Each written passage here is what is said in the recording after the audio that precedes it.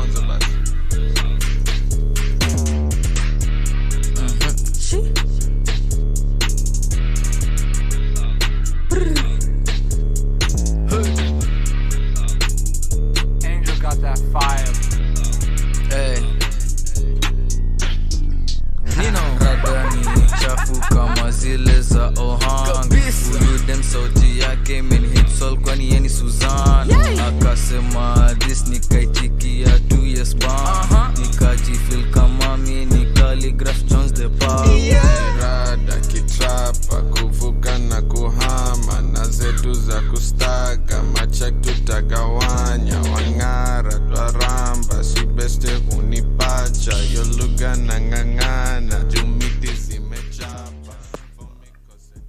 Hello and welcome back. I know it's been a while. Thank you for being here. And in this video, we'll be looking at how to create this really sexy looking uh, time lapses so you can share your modeling progress online in just a more interesting looking way.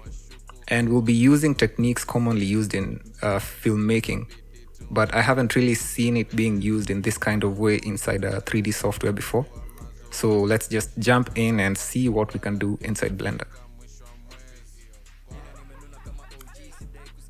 Now, unfortunately, to do this, you're going to need to have a setup with more than one display.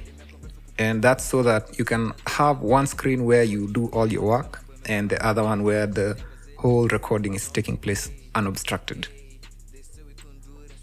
Now, something else that would have been really, really cool is say if you had more than two displays and Blender could be able to take uh, different active cameras on different windows, you'd have been able to capture the same process from different angles at the same time. And if you if you could be able to take that footage and throw them into an editing software, you'd be able to come up with some really really cool edits. But unfortunately, that's not possible at the moment right now in Blender. So uh, I'll show you how to make the setup on this simple scene, and then later on in a more uh, in another project, I'll just let it play and let you watch the time lapse. So what I'm going to do here is I'll select this cube and then Shift S, cursor to selected so that I can place an empty in the middle of that scene and then I'll just scale it up. And then what I'll do is I'll parent the camera to this empty, Control P, Control P, object.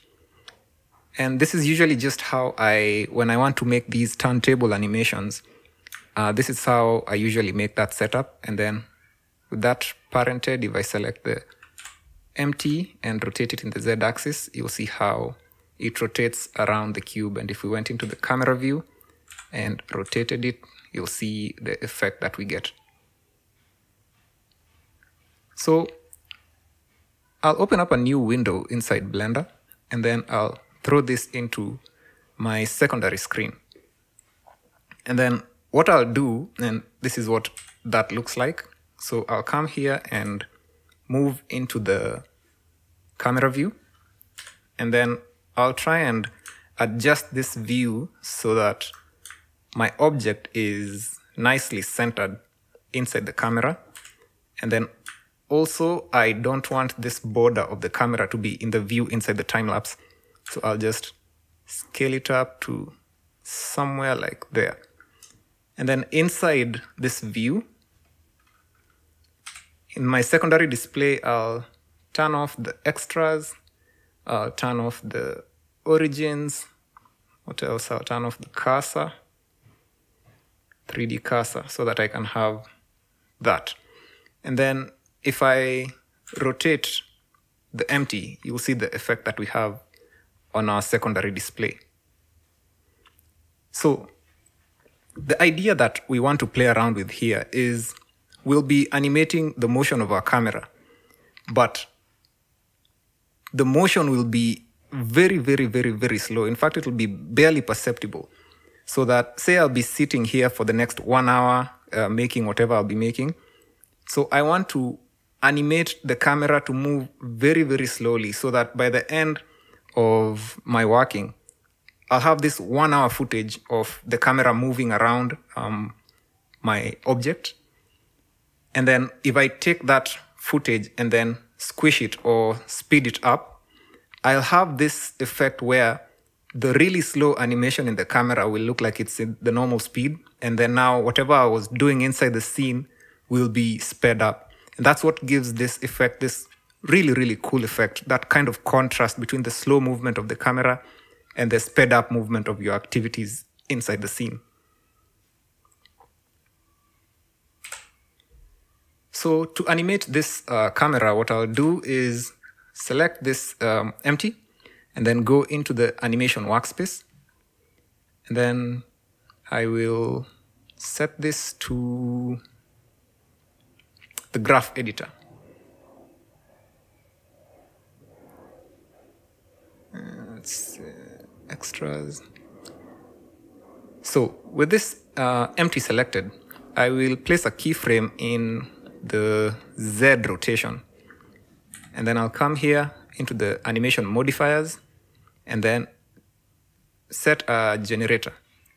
And if I if I play this, you'll see the effect that I have. But then it's it's way too fast. It's too fast. If you zoom way out, you'll see the curve that we we've created with the generator. And I will slow this down by turning this number way down. And remember, what we want to do is by the end of the of the session, if I speed this up, if the motion is perceptible, and then I speed my one hour footage and try to squish it down to say five minutes, even this motion will be way too fast. It'll it'll basically look like it'll basically look like this. So I'll set this to something like 0.0002 and see what that looks like.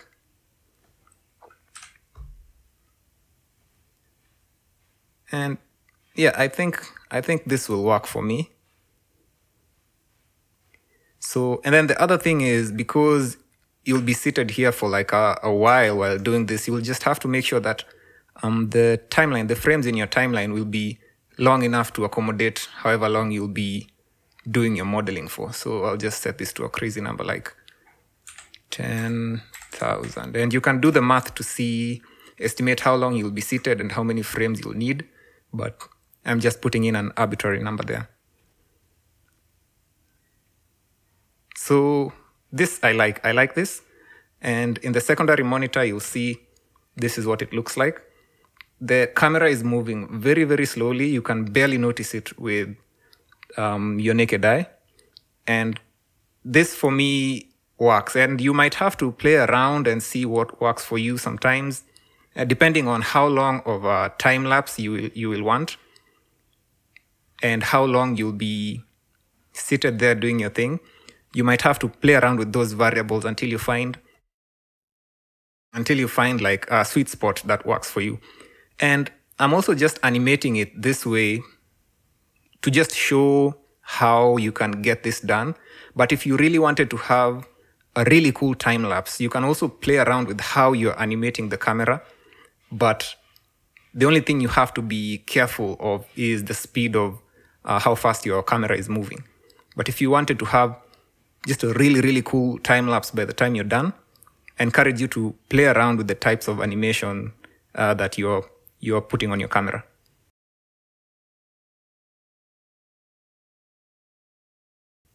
Yeah, that's actually pretty much it. So with that setup, I'll just go and open this um, other blend file that I have here. And I'll just start playing around with this and you can just sit back and watch.